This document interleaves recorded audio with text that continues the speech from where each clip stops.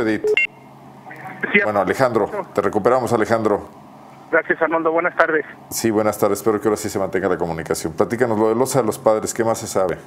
mira, lo que pasa es que fue ayer a las 40 horas cuando se recibió el reporte de que en la calle Las Campanas número 422 pues se registró esta agresión contra contra un hombre de, eh, llamado Manuel de 28 años de edad.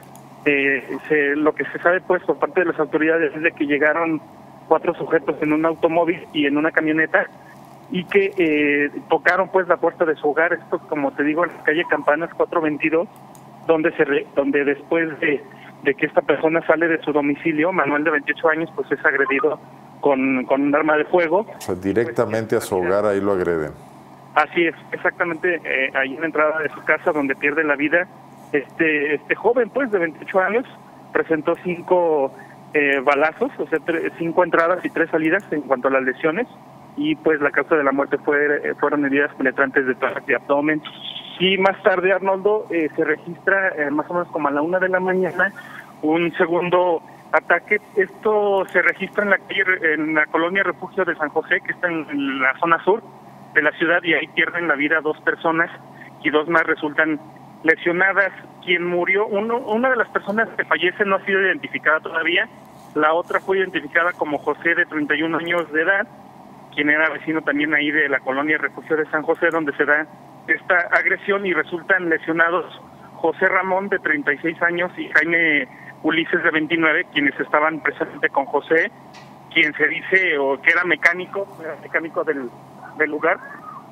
Eh, comentarte que eh, la persona que, que pierde la vida eh, de unos bueno de los que no está identificado no lo señalan como vecinos de ese lugar ¿Esto ocurrió a qué horas, Alex?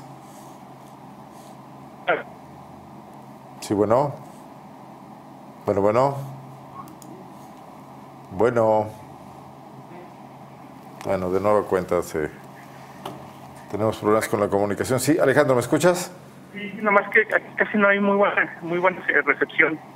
Para, para, terminar, te decía que nos platicaras a qué horas fue esta última acción donde mueren las dos personas fue a la una, a la una de la mañana. Todavía en la madrugada. Sí. Con respecto a los agresores es que llegaron en un, en un vehículo negro y de la parte de trasera, bueno, del asiento trasero del vehículo descendió una persona con un arma larga. Él es quien hace los disparos contra estas cuatro personas. Nomás comentarte que en el caso de José Ramón de 36 años y Jaime Ulises de 29, que fueron los que resultaron heridos, pues ya se encuentran estables y pues eh, en pues la autoridad de confirmar la identidad del, de la persona que, que no ha sido puesta hasta el momento identificada. Esto ocurre, como te digo, a la una de la mañana y hoy en la mañana, Arnoldo, se registra otro hecho violento. Pues son cuatro.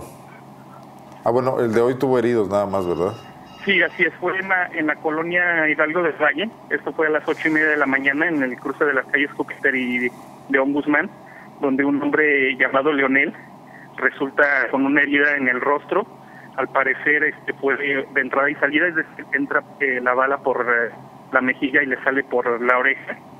Y él eh, aparentemente lo que se trata pues de aquí es de un intento de asalto, aunque esto tendría que pues ser confirmado más tarde porque cuando proporcionó la información, en este caso la, la Procuraduría, fue en un tiempo muy corto a los hechos, es decir, fue a las ocho y media de esta mañana estos estos hechos y bueno, hasta ahorita pues eh, lo que sabíamos por parte de las autoridades están reuniendo pues eh, la información para determinar exactamente qué fue lo que ocurrió, pero lo que se ha hablado hasta el momento de manera preliminar es de que se trató de un intento de asalto y eh, los, los delincuentes escaparon en una camioneta que posteriormente es abandonada en la calle Tamarindo, esquina con Saus del Valle, en Valle de León, que es una zona... No está seguro el que el móvil sea asalto.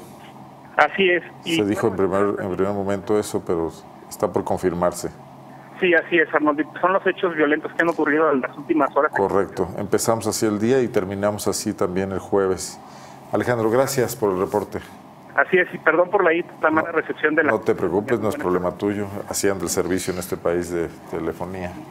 Así es, pues muy buenas. Estamos en contacto, esperamos que todo esté tranquilo, por lo menos en lo que sigue del día, pero así empezó, así está, empezó el viernes y así está terminando la semana de un eh, mes que, que, está mostrando un repunte del 100% en relación con 2016, Alex, de acuerdo al reportaje que, que publicamos estos el día de ayer. Así es, así es, Arnoldo. Fíjate que estos datos pues son para considerarlos, toda vez de que en el mismo periodo del año pasado, es decir, enero a julio, iban 107 los homicidios y ahorita el reporte que presenta la autoridad es que son 200, es casi el doble ¿no? de lo que ocurría el año pasado. Así es, pues preocupante situación como para que sí amerite acciones de emergencia donde se coordinen las autoridades de los tres niveles de gobierno y también convoquen a la sociedad, cosa que todavía no vemos porque se sigue insistiendo en que las cosas no están tan mal. Gracias Alejandro. Muy buenas tardes Arnoldo y a todo el auditorio. Buenas tardes.